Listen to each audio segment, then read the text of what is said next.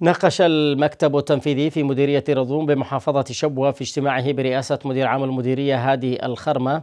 عددا من تقارير أو عدد من تقارير نشاط أداء مكتبي الأشغال العامة والطرق والزراعة والري بالمديرية والقضاء المتعلقة ببعض المستجدات في المديرية والتي تم بصددها اتخاذ المعالجات والتدابير اللازمة وأكد تنفيذي أو تنفيذ تنفيذي المديرية على ضرورة سرعة استئناف واستكمال العمل في مشاريع عدد من الطرق بالمديرية ومشاريع الربط الكهربائي للمناطق المستهدفة من محطة كهرباء بالحاف. مشددا على أهمية وضرورة تنسيق المنظمات الداعمة للتنمية في المديرية مع الجهات المختصة.